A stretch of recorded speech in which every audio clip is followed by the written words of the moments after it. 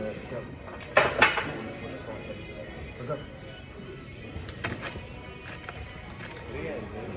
we're just testing it. Yeah, we're gonna get that now.